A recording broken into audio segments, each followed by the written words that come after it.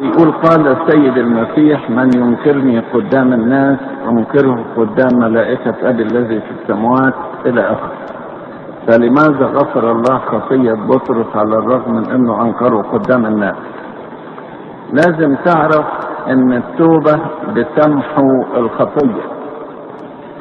يعني لو واحد مات في خطيته وقد أنكر المسيح يبقى ينكره قدام الله وملائكة السماء. لكن الشخص الذي يتوب توبته تمحو خطيته تماما. والكتاب بيقول إن الله أعطى الأمم التوبة للحياة.